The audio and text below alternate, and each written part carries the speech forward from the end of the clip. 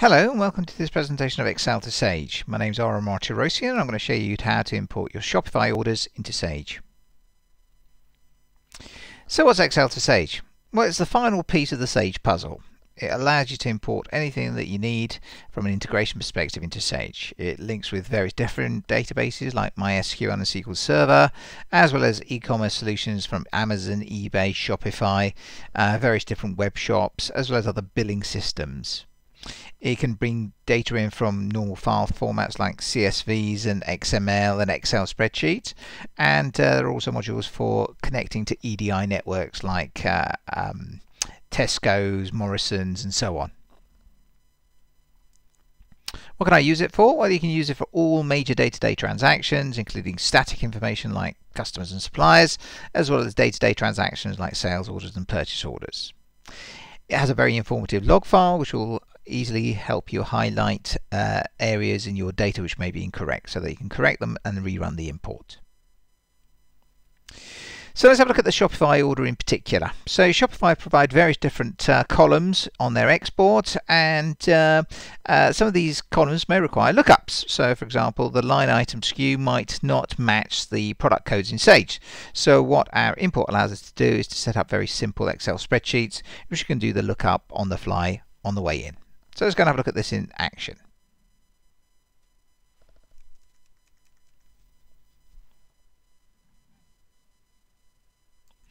So here's my Sage system and I haven't got anything in here at the moment and what I'll do is I'll just go and have a look at the file that I've downloaded from Shopify and that's what that looks like just a CSV file. So what I need to do is just literally press one button the Shopify button and what happens is it uh, starts the import of the Shopify orders and this little black box comes up to say that it's started the process. It's gone and looked at the CSV file. It's doing the lookups on the fly and uh, when it's finished importing all the orders from uh, the CSV into Sage, a notepad file will open up showing us all the orders that have been imported. We can then just check that to make sure that it's okay and uh, uh, see the number of orders that have been imported and then close the notepad file to complete the import process and then we can then just check it in Sage to see uh, it's as expected. And here's the log file. So let's have a quick look. Yeah, it's gone through and it's found the data and it's imported 10 sales orders into Sage. So I'll now just close that. Uh, just check it and here we are. Here are the Sage Shopify imports and then if I look at the one that's uh, by Peter Fleming he's um, ordered some books uh, that's his reference on Shopify. If I open that up I can see he paid 79 pounds for that and I've got some descriptions in here. And these are all going to a single Shopify account in Sage but each one of these will have its own uh, delivery address and so on. And on the order header, I can um, match various different things that have been provided to me. So I know that's been paid, that might be his email, and so on. Dead easy. So you just download the file, press one button.